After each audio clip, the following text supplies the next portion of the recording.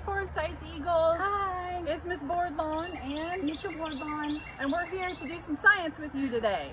All right, Mitchell is a sixth grader at Forest Heights, so shout out to all those sixth graders out there. All right, so today we're going to talk a little bit about energy. Um, so there are a couple words I want to show you, and we're talking about chemical energy, and those Mm-hmm. words are exothermic and Endothermic. endothermic. All right, so let's look at these words. Will you hold endothermic for me? All right, so we can take these words and kind of divide them up into parts. Mhm. So there's a little thing that's exo right here, and then thermic.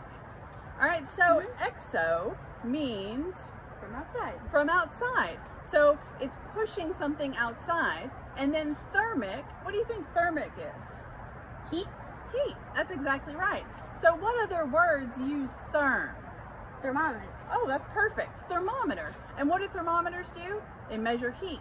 And heat is a measure of energy in science. Mhm. So an exothermic reaction is one that gives off heat. So it will get hotter. Now let's look at endothermic. So this part right here, endo, what does that mean? Within. So it's taking in that energy. And of course, thermic means heat. So if it's taking in energy, what do you think is going to happen? It's gonna get cold. It will get colder. All right, so cool. We have some examples. Um, the first example we have is of an exothermic reaction. So if this is an exothermic reaction, what's going to happen? Is it going to get hot or cold? Hot. Good.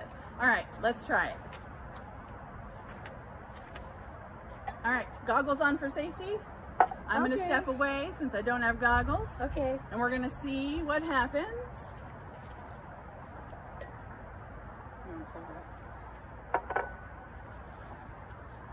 Swoosh it around there. Swoosh it. Swoosh it. Cool. Do you feel it getting warmer? Yeah. Excellent. All right, good job. All right, you can put it down.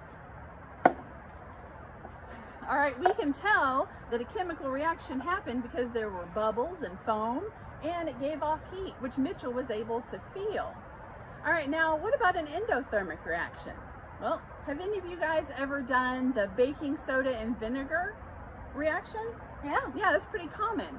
So if you do that, you get to see all the cool bubbles that happen from the reaction. But if you feel the reaction, kind of like Mitchell did, It's cold. it does get cold. So if you have baking soda and vinegar at your house, You can Um, put the baking soda in a bag and put the vinegar in a bag and seal it, and the bag will expand. perfect. It's going to expand because the gases are given off. And then if you feel the bag, you'll be able to feel that it gets cold. Mhm. So if it gets cold, what kind of reaction is it? Endo. Perfect. All right, thanks for visiting with us. We had a great time doing some science with you today. Bye. Bye.